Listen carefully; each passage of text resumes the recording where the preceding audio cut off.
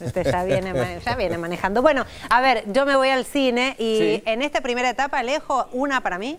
Vamos a hablar de cuatro películas y hay una para usted. Bien. Eso ¿Para mí sí, no espere para el final. Sí, creo que también una para usted. Vamos a ir viendo. Libre de sospecha es el nombre del único estreno argentino que llega de la mano del director Emilio Blanco, su ópera prima, protagonizado por Miguel Abud como un gerente de una compañía financiera a fines del año 2001 en tiempos del corralito y antes de que explotara el país. Su mujer lo exprime económicamente, su actual novia le avisa que se va a París por una beca de tres años y el dueño de la financiera le avisa que está juntando todo para desaparecer antes de que estalle. Él va a urdir su propio plan de contingencia. Me encontré con actuaciones desparejas, con un guion que tiene varios puntos flojos.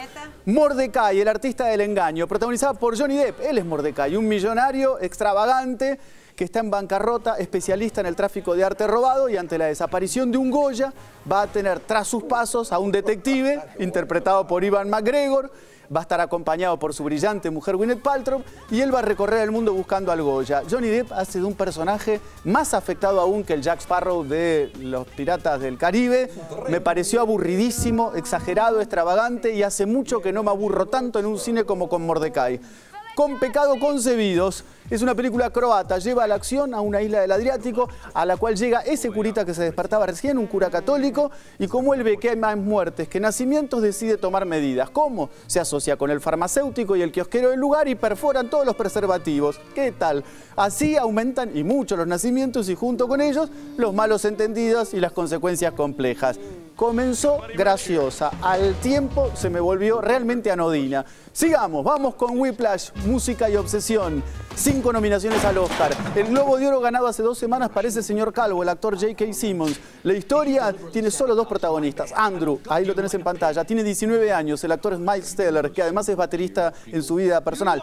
Eh, y la firme ambición de convertirse en el mejor baterista de jazz del mundo, para lo cual asiste a la mejor academia, Conservatorio de Nueva York, que está dirigido por el señor Calvo que estamos viendo ahora. Un tipo egocéntrico, tirano, soberbio y definitivamente odiable a todo lo largo de la película. Recuerda a esos sargentos que hemos visto en el cine de instrucción, que eran despreciables, bueno, lo mismo. Y a partir de ahí la película se convierte en un duelo actoral entre el mentor y el alumno. Y uno también se va preguntando si tiene sentido presionar, torturar psicológicamente a alguien más allá de los límites lógicos, supuestamente en búsqueda de la excelencia. ¿Cuánta este, humillación hay que aguantarse para realmente ser bueno? O al menos eso es lo que me pregunto viendo la película. Más allá, tiene actuaciones memorables, muy buenos momentos de música y la mejor edición que he visto en mucho tiempo. Gran película entonces, Whiplash, música y obsesión, de lo mejorcito, seguramente te lo estoy avisando en enero, que va a haber en todo el año 2015. Bueno, esa ya me la Sí.